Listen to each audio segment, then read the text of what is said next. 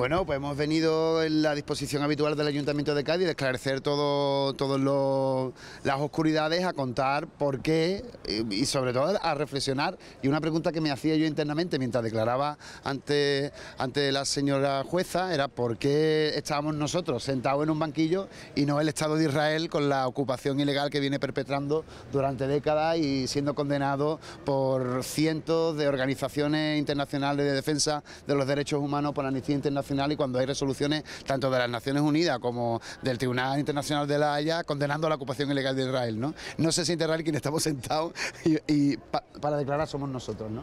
Bueno, pues con esta paradoja por delante, pues le hemos explicado a, la jueza que lleva el caso, pues cuál ha sido la actitud del Ayuntamiento de Cádiz, por qué el Ayuntamiento de Cádiz se adhiere en el 16 a la campaña el AIBDS y por qué y porque eh, en ese contexto pues se entiende que eh, el ciclo de cine que se venía celebrando, que es precisamente por lo que estamos aquí, pues contravenía un poco la adhesión, contradecía un poco la, adhesión a ese movimiento a estar precisamente organizado por el gobierno israelí a través de la embajada. No tenemos nada contra la cultura israelí, no tenemos nada contra el cine israelí, lo que tenemos, lo que tenemos todo en contra esta, en contra de la ocupación ilegal de los territorios de Palestina. ¿no? Y eso es lo que venimos a defender y lo que seguiremos defendiendo eh, porque no podemos hacerlo de otra manera, vamos, porque lo sentimos así, porque nuestro corazón y nuestra mente está con el pueblo palestino.